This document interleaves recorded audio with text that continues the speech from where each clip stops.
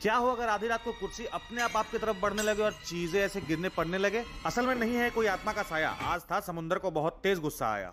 जी हाँ मेरा नाम है निर्मलेश। काम करते हैं समुद्र के बीचों बीच शिप पे और आज समुद्र का कुछ ऐसा हाल था। मतलब मौसम बहुत खराब था और तूफ़ान आने वाला था। दुनिया में तूफ़ान आया हुआ है तो दोपहर को खाना खा के काम पे पहुँचे तो देखा कि बहुत तेज तूफ़ान आने वाला है। ज़मीन पे होते तो भले ही फंस जाते पर समुद्र में हमारे पास भागने के लिए जगह है। वैसे हमारे शिप को ऊपर सैन फ्रांसिस्को की तरफ़ जाना था पर इसे अवॉइड करने के लिए हमने पहले शिप को थोड़ा नीचे ले लिया। और हाँ हर गुलाबी चीज़ प्यारी नहीं होती। अगर समुद्र में कभी वेदर मैप गुलाबी दिख जाए ना भाग लो वहाँ से।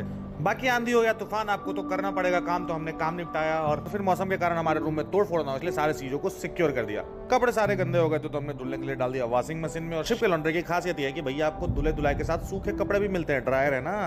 डिनर पे पहुँचे तो चिपकू ने बनाया था नॉनवेज आलू मतलब उसमें थोड़ा सा चिकन भी डाला था तो हमने वो खाया। अंधेरा होने से पहले हमें सामने वो तूफ़ान आता हुआ दिख रहा था। बाकी रात का सीन तो आपने ऑलरेडी इस वीडियो में देख ही लिया इसके आगे का देखने के लिए यूट्यूब पे सब्सक्राइब और इंस्टाग्राम पे फॉलो